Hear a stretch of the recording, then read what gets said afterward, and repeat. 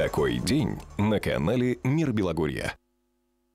Мы продолжаем такой день. 8 апреля православные христиане по всему миру будут отмечать один из главных церковных праздников – Пасху.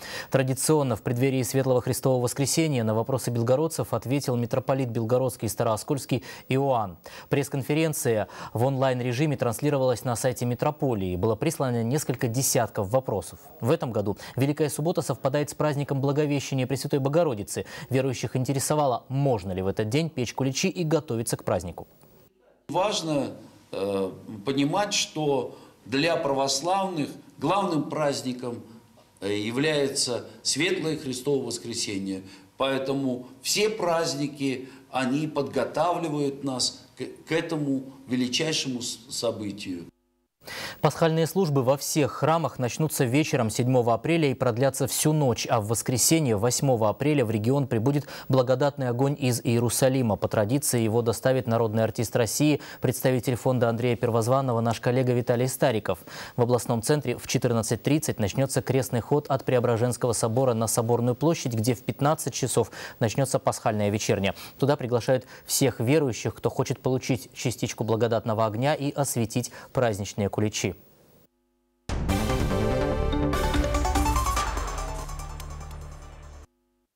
Юрий Александр, ну вот расскажите, вы сейчас в Белгороде, Пасха буквально вот уже в воскресенье, стартап-тур продолжается в Белгороде. Где вы будете встречать этот праздник?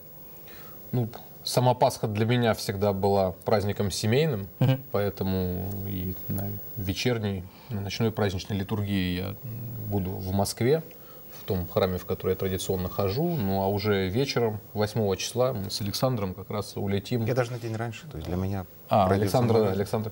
А, а вечером 8 мы улетим. Вы, Александр, прямо в дороге встретите да, Пасху, правильно? Первый раз буду встречать Пасху в дороге, да. А вы, Юрий, еще А я вот как раз 8 храм, вечера, да? да, я успею сходить, и 8 mm-hmm. вечером как раз вылечу на следующий стартап-тур в Улан-Удэ, который 9 Далековато. апреля Какой большой разброс проходить. по географии? Ну, что ж делать?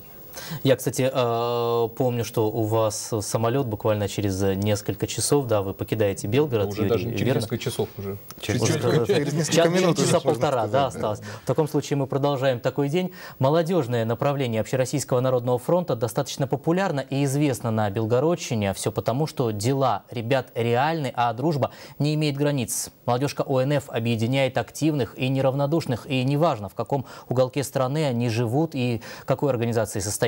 Так алексеевские студенты, участники волонтерского отряда при местном агротехническом техникуме, стали победителями конкурса «Не жди перемен, твори перемена». Ребята организовали, подготовили видеоролик о своей волонтерской деятельности и в нем рассказали о многолетней помощи одинокой бабушке, живущей неподалеку от их учебного заведения. Продолжит Татьяна Куликова. Здравствуйте, Лидия Никитична. Здравствуйте, здравствуйте, мои внучата, мои золотые внучата пришли к бабушке. Э, Они всегда ходят, каждый раз. Низкий поклон вам всем. Ребята из Алексеевского агротехнического техникума действительно частые гости у Лидии Никитишны Шкуратенко. Больше шести лет назад она обратилась к студентам просто за однократной помощью. А волонтеры решили не оставлять бабушку. Теперь уже второе поколение студентов помогают Лидии Никитишне по хозяйству. Видео и фотоотчеты об этой работе и стали материалом для конкурсного ролика «Не жди перемен, твори перемены». Приходим, помогаем частенько. Э, Общение с нашей бабушкой нам очень нравится. Советы дает э, нам, ну вот, как правильно что-либо сделать. Ну, бывает э, и подшучивает иногда, конфетами угощает. Сегодня и своих знакомых волонтеров, и гостей из белгородской молодежки ОНФ Лидия Никитишна угощала чаем и пирогами. Вспоминала военное детство, юность, отметила, что молодежь и сейчас хорошая, ее ребята тому пример. Забежал, подкидал снег, дорожку, чтоб никто не упал. Видите? Очень хорошие. Они заслуживают внимания. И внимание было. Волонтеров-победителей наградили в присутствии сокурсников. Это мяч, на котором расписались участники сборной страны по волейболу, и мужчины, и женщины. Максим Михайлов, Сергей Гранкин. Поклонникам волейбола известны эти имена. Всего более 10 звездных автографов красуются на этом мяче. Я думаю, что ребята ценят именно что-то нематериальное, именно э, то, что достигается каким-то своим трудом, то, что э, не не, то, чего нет ни у кого, но то, что они получили благодаря своей такой активной позиции. Нынешняя встреча – доказательство, что реальным делам, большим и малым, место в каждом городе и селе. Белгородские активисты пригласили ребят вступать в группы своего движения в социальных сетях, вместе творить и менять жизнь к лучшему. Не жди перемен, твори перемены! Татьяна Куликова, Александр Кетка. Такой день на мире Белогорья. Юрий Александр, ну вот я думаю, что участники стартап-тура, по крайней мере те, кто присылают э, свои проекты, они тоже творят в какой-то мере перемены и продвигают в будущее и нашу экономику, и наш бизнес. Как, кстати, вам вот такой сувенир э, волейбольный мяч с автографами волейболистов сборной страны по ну, волейболу думаю, и мужской, и женской сборной даже. Людей, уважающих спорта, всегда почетно иметь такой трофей э, у себя дома с подписью. Я, кстати говоря, тоже в контексте как раз фразы «твори перемен» не жди перемен, это, это очень правильно. Ну, во-первых, это вызывает уважение, сама та работа, которую ребята делают по собственному зову сердца и души. Тем более вот сейчас как раз Великий пост идет, Пасха скоро и милосердие, любовь к ближнему, то, что мы не оставляем э, своих собратьев без помощи, это, это очень важно. И это хороший пример, наверное, для всего подрастающего поколения. Ровно так же, как технологические предприниматели молодые являются хорошим примером того, что не надо э, приходить и просить у государства какой-то помощи, ныть по поводу того, что вот что получается, не получается, ты берешь и делаешь, у тебя ты наоборот сам создаешь рабочие места, обеспечиваешь не только себя, но и других. Я вот думаю, что волонтерское движение в этом смысле тоже очень похоже, и в этом контексте, наверное, правильно было бы коллег и ребят поблагодарить за ту работу, которую они делают.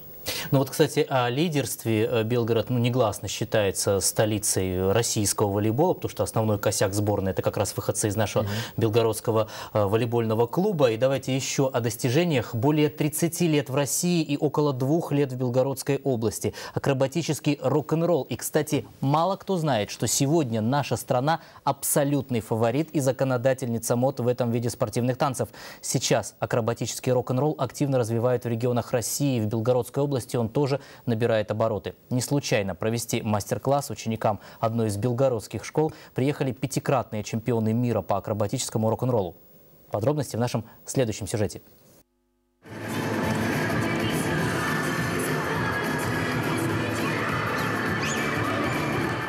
Ритм – это движение в секунду, пульс – 120 ударов в минуту. Все это акробатический рок-н-ролл. Перед ребятами танцуют пятикратные чемпионы мира Ольга Сбитнева и Иван Юдин, установившие на соревнованиях мировой рекорд за минуту, выполнившие 48 оборотов солнышка. Уже после мастер-класса специально для нас они вспомнили, как это было, и даже продемонстрировали на камеру.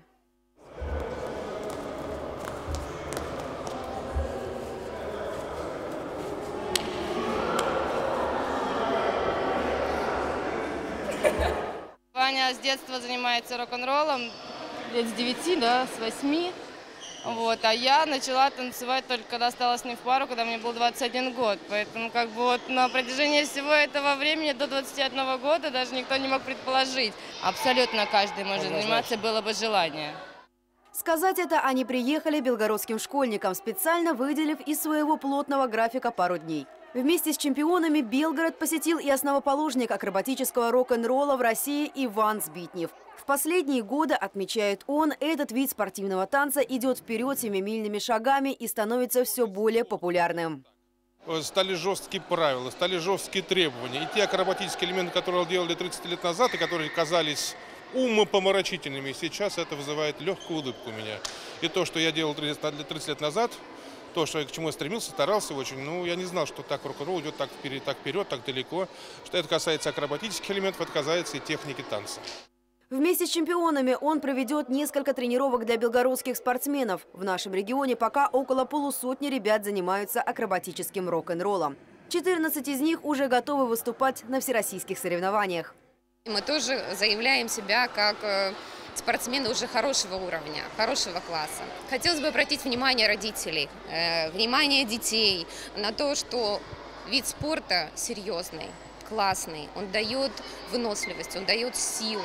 А, дети музыкальные здесь. Мы не делим детей на слабых, на сильных, на худеньких, на полных. Выступают все готовим всех, мы их э, сделаем сильными, сделаем стройными и красивыми, вот как вы видели.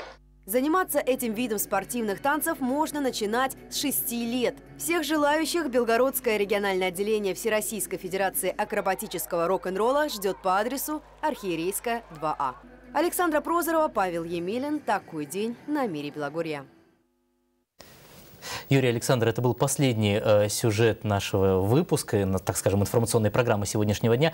Э, как мы и договаривались в самом начале, мы должны выбрать сюжет дня, по которому будем в будущем характеризовать уже 4 апреля. Что вам больше сегодня понравилось? Мы с Александром посоветовались и единодушно определили сюжет про волонтеров, потому что последняя неделя Великого Поста и все, что связано с милосердием, а ребята занимаются именно такого рода работы, нам кажется ближе в преддверии Пасхи именно этот сюжет отметить. Да, и у ребят очень хороший лозунг, и идеи, они совпадают и с идеями и стартап-тура, и подготовкой молодежи, и рок-н-роллом, которым тоже бы хотелось заняться.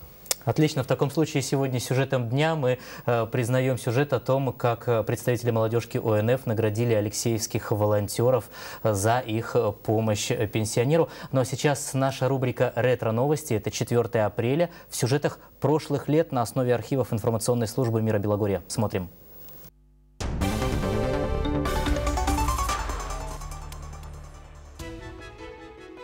4 апреля 2011 года правительству области был представлен проект фото-видеофиксации правонарушений на дорогах Белгорода. На тот момент первые приборы были установлены на 15 точках в областном центре и в Белгородском районе. В дальнейшем предполагалось расширение системы и внедрение таких новшеств, как оплата штрафов через интернет. Сегодня на дорогах области работают 120 передвижных и стационарных комплексов видеофиксации, а оплата штрафов со смартфона стала обычным делом. В 2013 году в Белгороде была открыта первая автомобильная мойка самообслуживания без привычного персонала, что значительно удешевляло услугу. Процесс мытья полностью компьютеризирован и занимает 10-15 минут. Оплата через автомат. Плюс к приятной цене, экономия времени и личный контроль качества. В 2016 году партия «Единая Россия» впервые провела не внутрипартийный, а общенародный отбор кандидатов в депутаты Государственной Думы. Проголосовать за претендентов кандидаты мог любой гражданин. 4 апреля стартовали дебаты участников предварительного голосования. Они проходили в режиме прямой трансляции в интернет. В этот день в 2017 году в областном центре прошел фестиваль детских театральных объединений, коррекционных образовательных учреждений региона. Организатором выступила Белгородская специальная библиотека для слепых имени Ярошенко. В спектакле представили семь коллективов из разных районов области.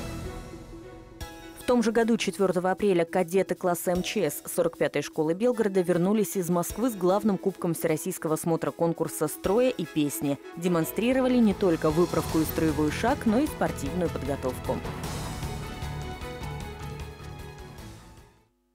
Юрий Александр, ну вот такими событиями в Белгородской области ознаменовалось 4 апреля. И, кстати, у нас есть еще одна новость. Буквально только что мы узнали, что в этом году пятый класс вот э, той самой 45-й школы Белгорода, которая только что фигурировала у нас в ретро-новостях, угу. снова взял первое место во всероссийском смотре кадетских классов МЧС в Москве. Ребята стали лучшими среди участников своей категории из восьми городов России. Мы поздравляем наших кадетов.